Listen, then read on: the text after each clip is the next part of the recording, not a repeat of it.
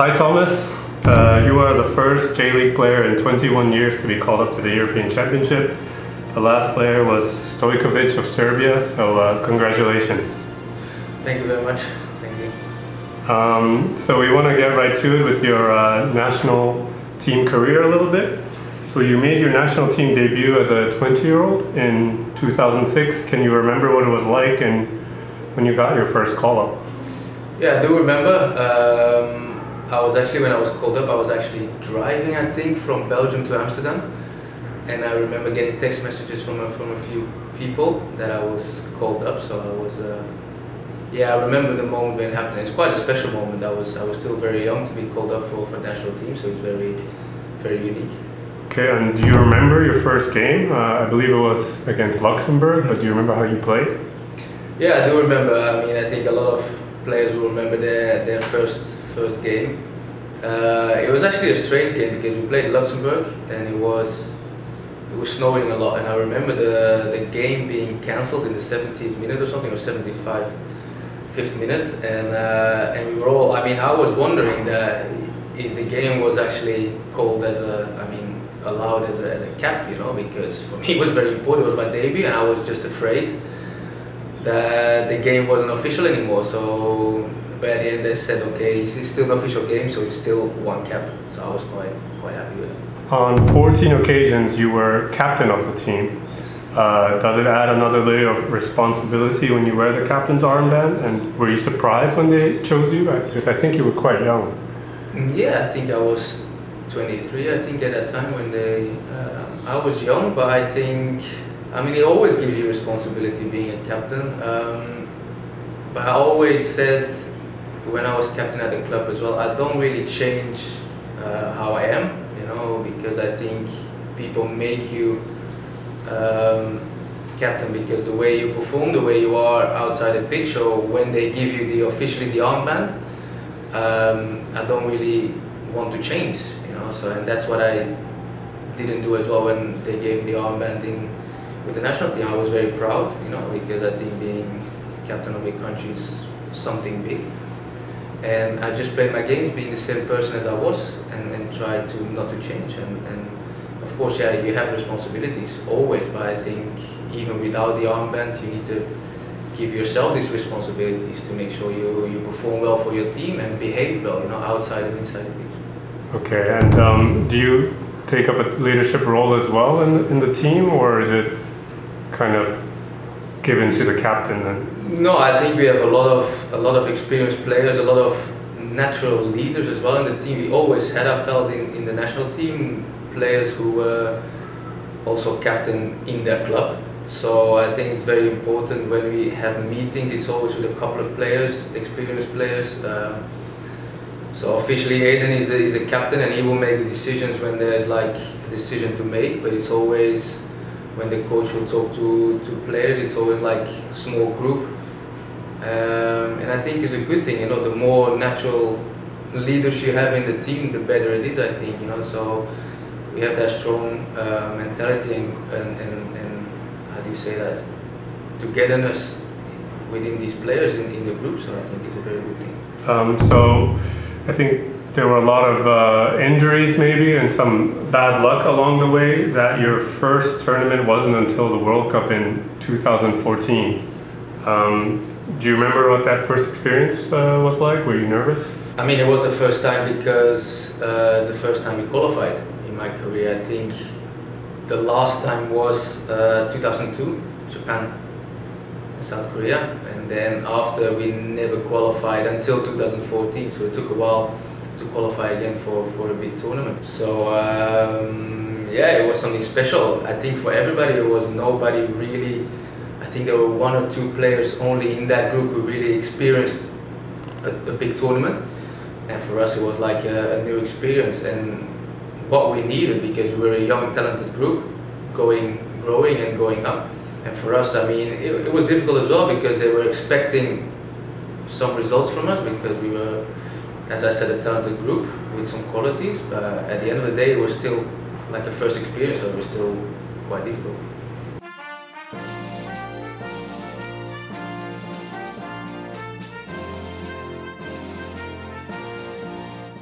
Do you remember that game and what kind of impression did you get of Japanese footballers?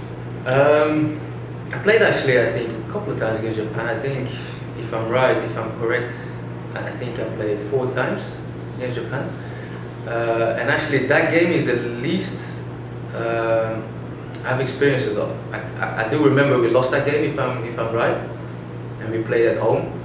Um, so it's difficult to remember that game. I, I, do remember very well a game I played in 2009 um, against Japan. In Japan, we lost 4 0, uh, way too strong, and then, of course, 2017 a friendly, and then the World Cup.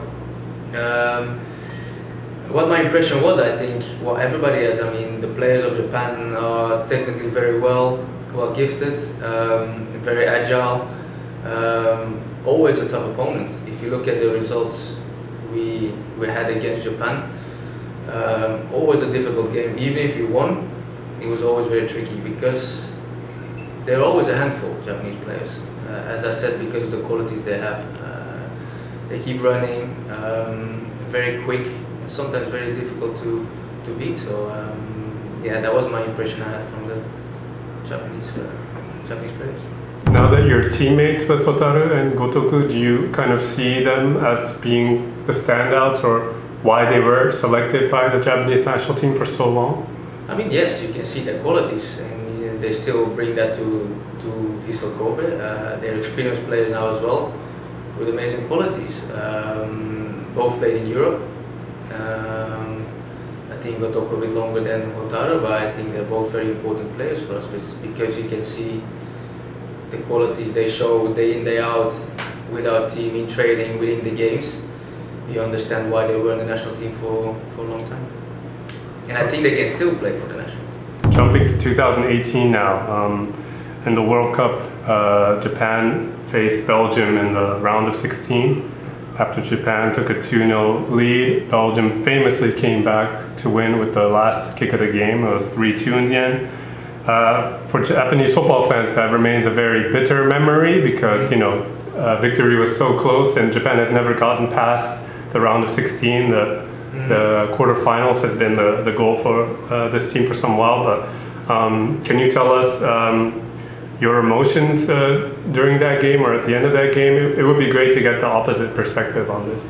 Yeah, it was a crazy game. I can understand that for the Japanese players was or the nation, it was very difficult to, to swallow that defeat. I mean, I remember I didn't play that game, I was on the bench. I remember sitting on the bench going 2 0 down, and I was like, wow, this is, uh, this is difficult to come back from. Um, and I think it was um, a strange goal from Vertonghen, I think, like a, a header you, you never see.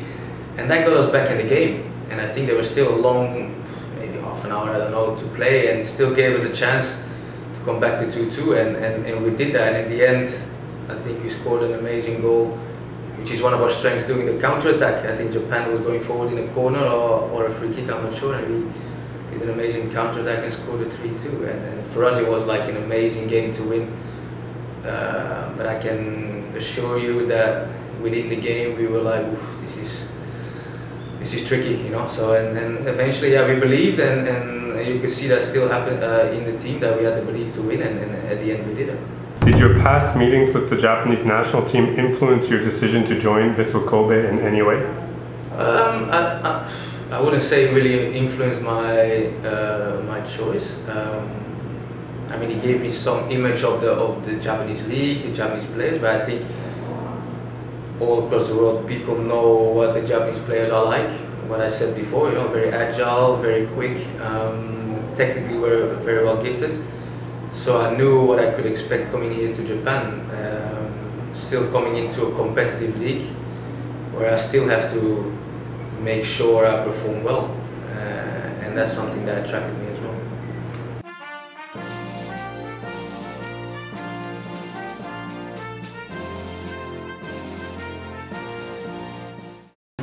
So, um, according to the current FIFA rankings, Belgium is ranked number one in the world. Uh, does that make Belgium the favorites to win the tournament? I think people look at us like um, a country that can that can win it, has a chance to win it. Um, but I think there are more strong teams. Um, I'm not going to hide that we have the ambition as a nation to, to win it. Of course, we go there to, to win the tournament, and I don't think you have to hide it. But I think we're one of the countries who can win. Uh, if you look at the other strong teams, that I'm looking at France, I'm looking at England, uh, Germany, Italy, Holland. They're all strong teams, and, and at, the, at the end of the day, it's a tournament. So it's not like you're playing, let's say, 38 games in one year. You're at a tournament. If you go to the knockout stage, it's like a, a one a one game. And that depends on so many factors if you perform well or not. And, and you can have a bad day and go home, or you can have a very good day and still keep going. So you need, of course, a quality in your team, but you also need a, a bit of luck in the tournaments. And, and we just hope we, we can have a consistent performance throughout the whole tournament and, and, and hopefully we can win it. Um, so your current Belgium team features some, some big names uh, with highly experienced players. Um, how's the team dynamic? Yeah, I think we understand each other very well, often on the pitch. Um, just because we know each other for such a long time.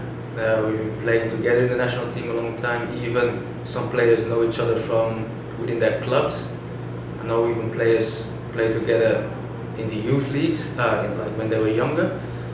And um, and also we've been working with the same coach for a long time now, who has a certain system, a way of playing, which is very important for on the pitch. And um, yeah, I think we're, we're also a group of friends outside of the pitch. We have, we have great fun where we're not, uh, when we're in the hotel, you know, because we spend a long time together off the pitch as well. So it's very important. You, as you say, they have a good positive vibe in, in, in the team, and, and I can say that's what we definitely have within this team.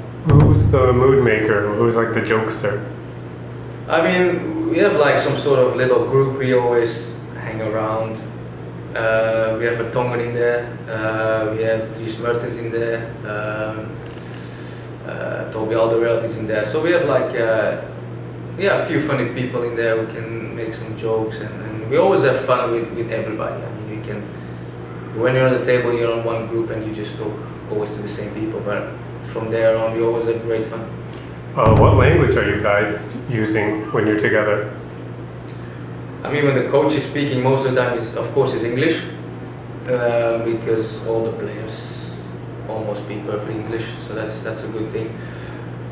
And then you have the Flemish players, and you have the the um, players who, who speak French. So, but we can communicate in French and in Flemish. So we all, most of the players are can can speak the both languages. Curious, um, for example, Eden Hazard, your captain. Um, what makes him special? He's special because he's a he's a pure talent. Um, always been a talent um, from world class level. He's very difficult to defend. He's very he's low gravity, quickness of turning, with and without the ball, his scoring abilities. Um, yeah, he's a world class player.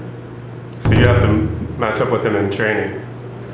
Yes, not only in training, but also I played against him in England a couple of times. Um, yeah, very tricky. As I said, he, he, turns so fast because his gravity is so low.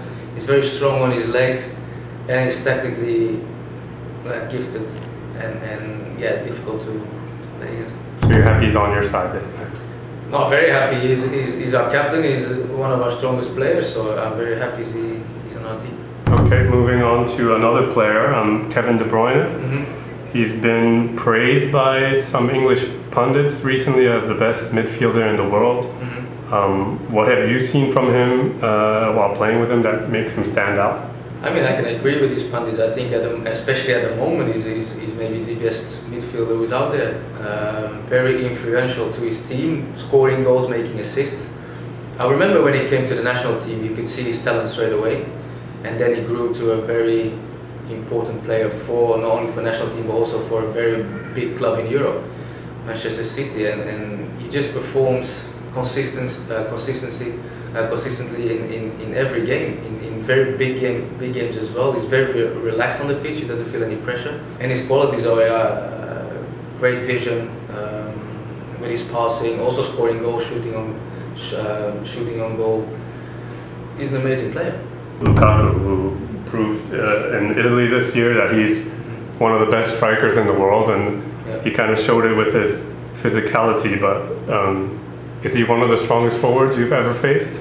Yes, he's very he's very strong physically, and and I mean I faced a few very strong um, strikers in my my career, and one of them is also his example is, is Didier Drogba, and they're very similar in strength. You know, their physical strength to hold the ball, uh, very difficult to mark. Uh, also very fast. You know, he's a, he's, he's, he's a tall guy. You know, I think he's close to 100 kilos as well, but he's so fast and uh, and also his, his finishing is, is, is top class. So it's uh, yeah, it's, it's, it's, it's, for me, especially this year as well, making Inter champion. Um, yeah, it's a world class striker. How do you think he would do in the J League? I think he'll do very well. He will. I think he will score some goals here. um, so, uh, from all your Belgian national teammates, if you could bring one to Japan, who would you select? Wow, it's very difficult. I think in, in in the moment of form they're in now, I think you will have to choose between Kevin De Bruyne and, and Lukaku. I think the way they perform for their for their clubs at the moment, it would be one of those two.